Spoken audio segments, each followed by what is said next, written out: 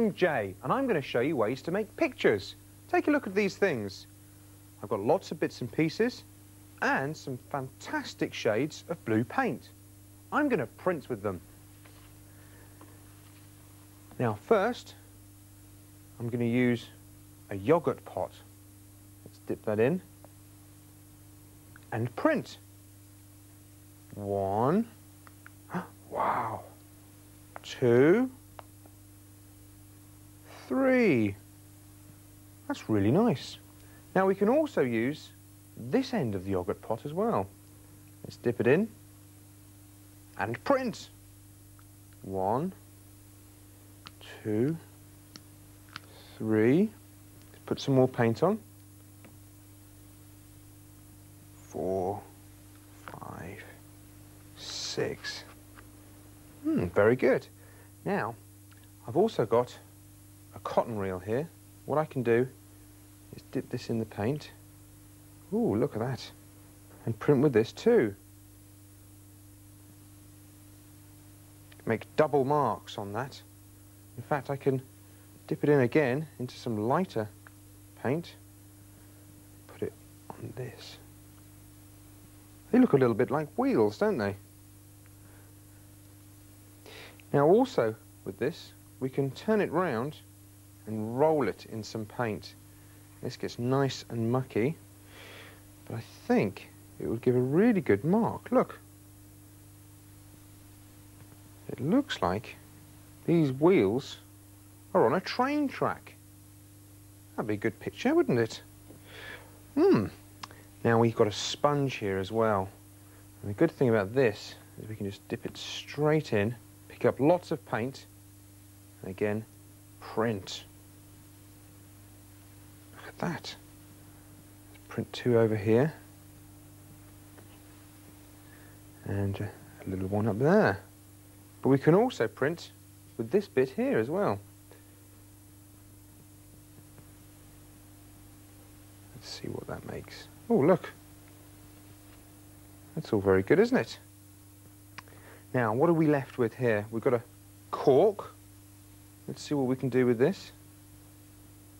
Very easy making round shapes. That's nice. And we've got some pasta. Now, if I roll this in the paint, I wonder what sort of mark this makes. Look at that. It looks like the tracks the train's on. Really good. Now, last of all, I've got this really interesting scourer here from the kitchen. I'm just going to put it in loads of paint and print with it. Look at that. It looks like smoke coming out of it. Hmm. What do you think? Why don't you try collecting some objects and printing with them?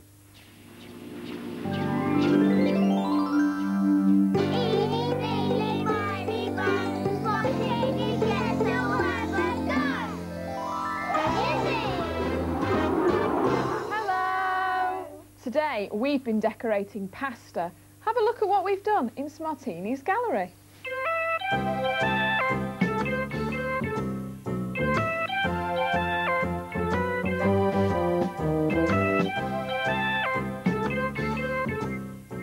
Here's how we made them. Right, the first thing we need to do is paint the pasta. We've got these pasta tubes here. Now I'll show you, it's a bit messy, but this is the cleanest way of doing it. Got these lovely bright colours here. Now hold the two ends like that, okay? And then look, you can paint all over the pasta tube. You'll get a bit on your hands, but it doesn't matter.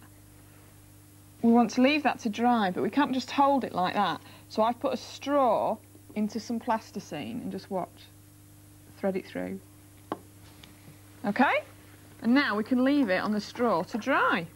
We'll get another one. I've got a bit of blue on my hands, but it doesn't matter. So I'm going to use red next. Oh, red. Paint that one. See if you, can you see? No, it doesn't. Look at that. And this paint goes on the pasta really nice. And then, oh, thread it on. There.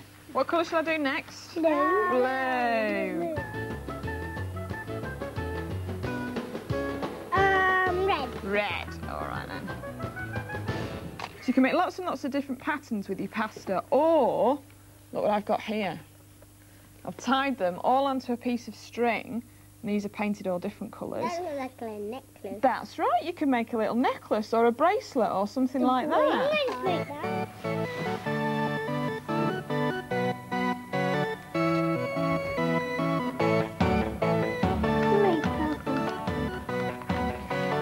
That's the tricky bit, isn't it? Threading it onto the straw. What do you think you're going to make with your pasta when you've painted it all? Necklace. A necklace, fantastic.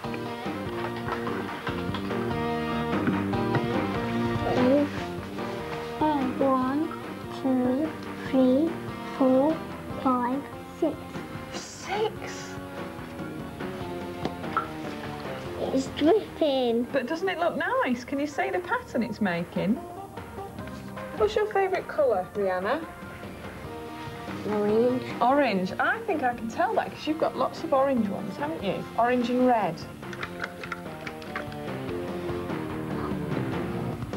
I need to wash my hands. Here are our decorations. When all the pieces of pasta were dry, we threaded them onto some colourful string to make all these beautiful necklaces and bracelets. You try decorating pasta? What time is it now? Tidy up time. It certainly is. Bye-bye!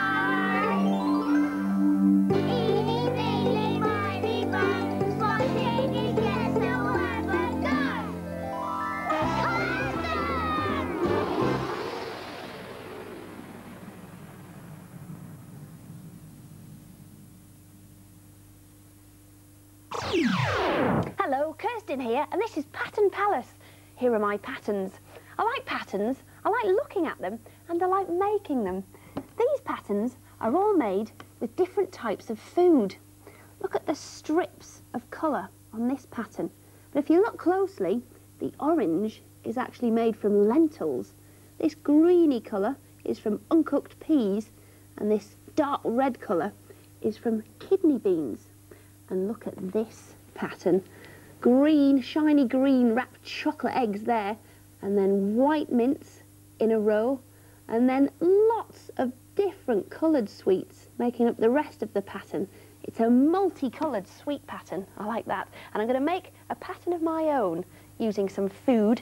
I've got the nice orange lentils here. They're very fine. And then the lovely red kidney beans. And this pasta on the end makes a nice pattern all by itself. And I'm going to put all of my food into this clear plastic container here. So let's start with the lentils.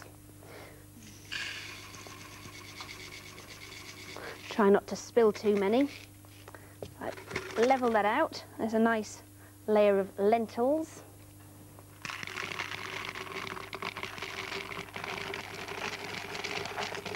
And then thicker layer of kidney beans. Now for the pasta. Lovely, but I think I'll put some more kidney beans in now.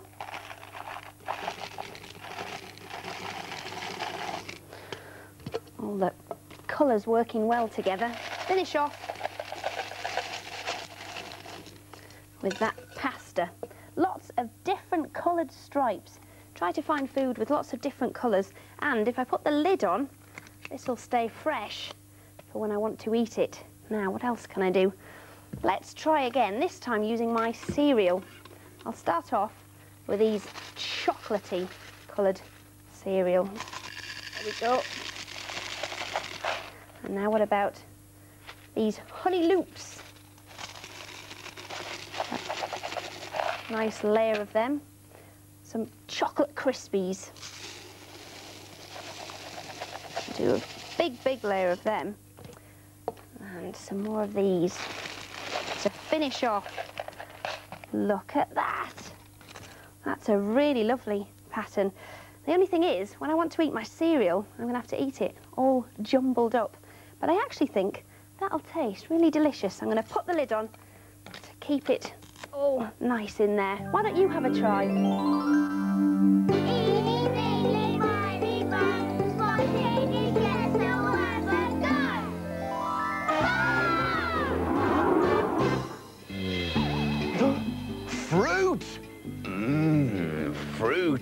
Let's make our own fruit.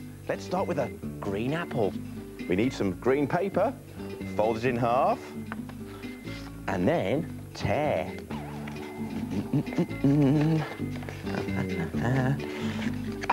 Look, one yummy apple. And how about some delicious bananas? Two bananas, there. One, two. Great. Ooh, big picture.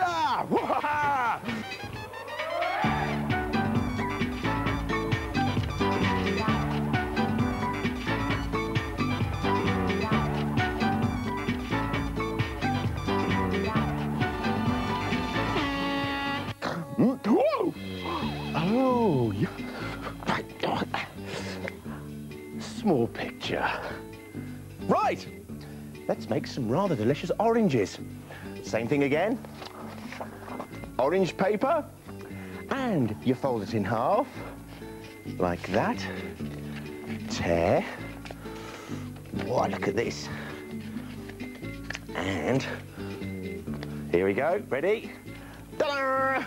One big orange. And how about some juicy grapes? Let's have a look. Ah, this scrap bit of paper looks like a bunch of grapes. Oh, big picture. Oh, here we go. Right.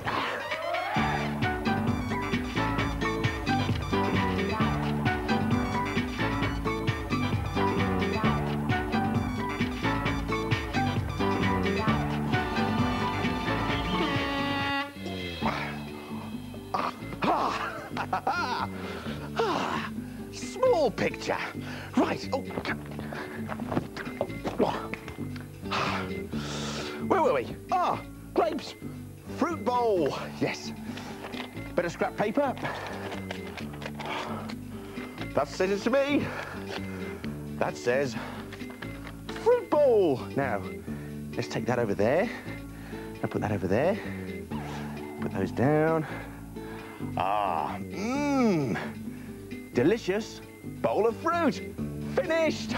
Oh, no, I haven't. Oh, crikey. Oh.